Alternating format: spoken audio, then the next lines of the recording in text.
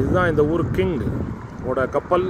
இது Mathura harbour Mathura ஹார்பரில் steam போட்டு போட்டில் எப்படி போயிட்டு பாருங்கள் பாருங்க. மோட்டர் போட்டு வார்ஷிப்ஸு போட்ஸு எல்லாமே இங்கே நிற்கிது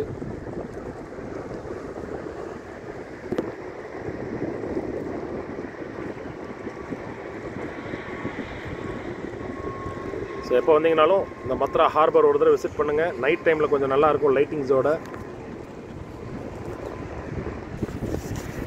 எல்லாத்துக்கும் பை பாய்